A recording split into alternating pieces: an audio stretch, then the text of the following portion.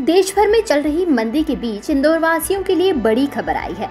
Crystal IT park स्थित IT company InfoBeans ने अमेरिकी IT company philosophy software service को खरीदा है। अमेरिकी IT company 10 million dollar revenue company है। इन्फोबीन्स के अविनाश सेठी ने बताया कि कंपनी का करीब 10 मिलियन डॉलर सालाना राजस्व है। इन्फोबीन्स टेक्नोलॉजी 30 मिलियन डॉलर की कंपनी है। दोनों के एक होने से कंपनी का आर्थिक आकार भी बढ़ेगा। ये ग्रुप आईटी क्षेत्र में तकनीकी नवाचारों के लिए जाना जाता है। ये company Google, Amazon, American Express flight club जैसे बड़े क्लाइंट के साथ काम कर रही है। आईटी क्षेत्र में शहर में रोज़गार के अवसर बढ़ेंगे और इन्फोबीन्स को ग्लोबल पहचान मिलेगी।